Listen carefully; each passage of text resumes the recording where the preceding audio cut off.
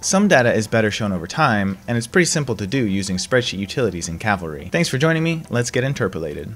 Sometimes these setups can be a little complicated, so make sure to check out my website where you can find written versions of these tutorials. Let's pull up our pie chart that we previously made. In our data sheet, we see an attribute called interpolate. This essentially lets us animate the data values over time by adding extra columns to our Google Sheets. Here's the updated sheet I'll be using for this example. The idea is that you can interpolate the output of our spreadsheet utilities between the numbers in these columns.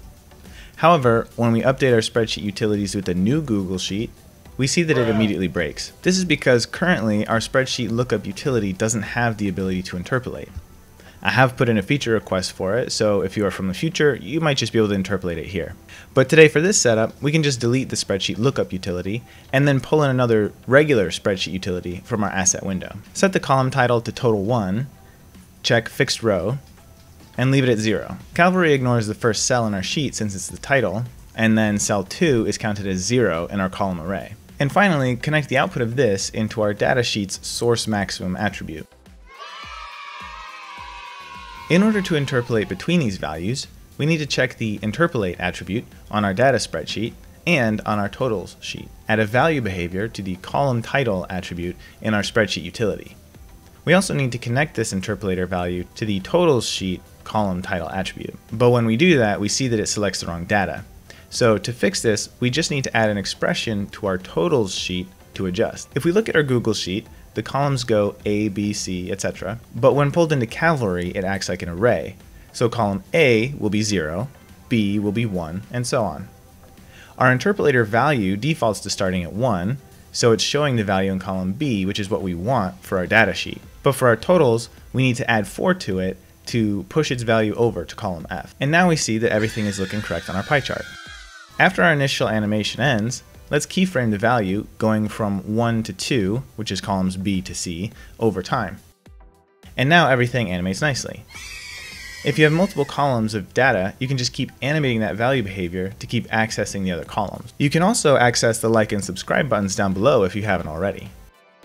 Currently, we see that the subscribe value in our graph is visible at the start even though its value is 0. If we want a value to disappear when it's 0, we can add a number range to our base null, inside of the arcs folder. Set the source minimum and maximum to 0 and 1, and the output minimum and maximum to 0 and 100. Connect the output of our data spreadsheet into the value, and the output of the number range to the opacity of the null. Now we see that when a value goes to 0, the text and arrow disappear to not take up space anymore.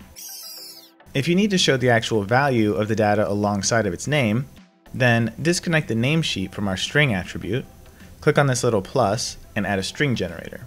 Here you can set the precision and padding to whatever you need it to be. I'm going with precision 2 and 0 padding.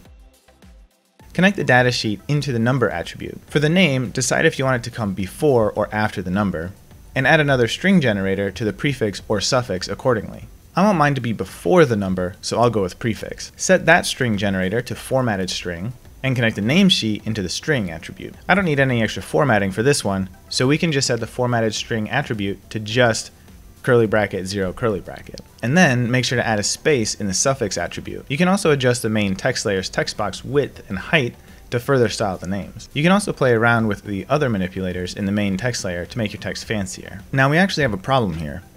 By connecting the datasheet to our text box, we aren't getting the proper numbers since we are remapping our datasheet. To fix that, duplicate the datasheet and rename it to data unmapped.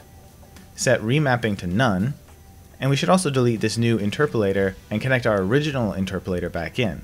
This way we only need to animate one thing and everything is connected. Now, connect that sheet into our string generator.